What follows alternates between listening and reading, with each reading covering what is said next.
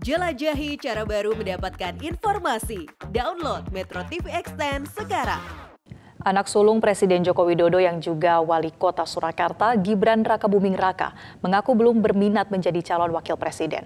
Dengan santai, Gibran mengatakan lebih baik mengurus UMKM di Solo.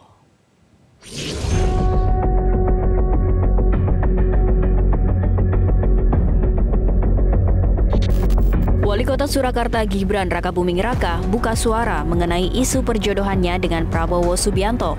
Gibran mengatakan, secara aturan dirinya tidak mungkin menjadi cawapres karena aturan yang berlaku saat ini, cawapres harus berusia 40 tahun. Gibran tampaknya tidak ingin berandai-andai, meski namanya kerap disebut layak menjadi pendamping Prabowo. Gibran menyebut dirinya lebih pantas mengurus UMKM di Surakarta daripada menjadi cawapres yang lain kan enggak. Nah, ini kan lagi ada upaya UJMK dan segala macam. Ya, saya nggak mengikuti. Kemarin namanya Saya di sini aja ngurus UMKM gitu ya. namanya menjadi salah satu yang diperhitungkan. Hmm? Kemarin Pak Prabowo bilang kalau nama Mas Wali salah satu yang diperhitungkan dalam Untuk apa bursa cawapres Nah, untuk 2024. umurnya belum cukup. Misalnya Di Tapi kami tegak lurus ya. Iya.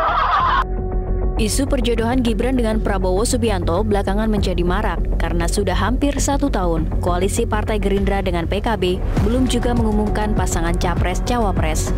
Alih-alih memilih cawapres, Prabowo justru lebih sering menampilkan panggung kebersamaannya dengan sejumlah tokoh yang berada dalam lingkaran Presiden Joko Widodo.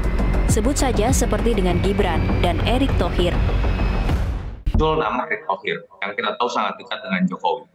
Lalu muncul nama Gibran yang bukan hanya dekat tapi anak kandung dari Jokowi.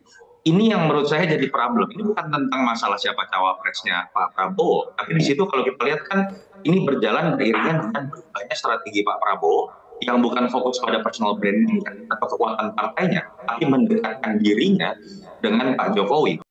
Prabowo Subianto yang sudah empat kali masuk ajang Pilpres memang memilih lebih hati-hati dalam memilih pasangan. Prabowo mengatakan partainya terus bekerja mencari teman dalam koalisi. Kode-kode, maunya kode terus. Oke, ya. Oke, oke. Terima kasih. Ya. Saya kan sudah katakan, Anda gimana sih?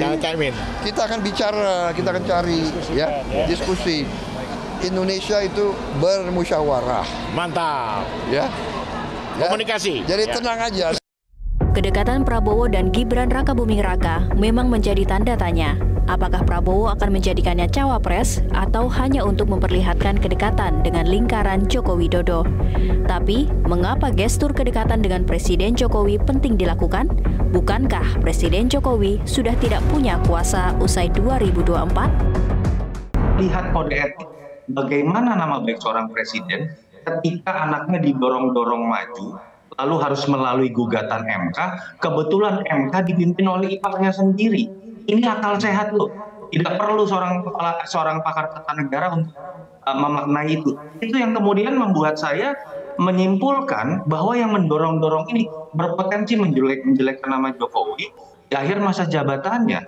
Tim Liputan, Metro TV.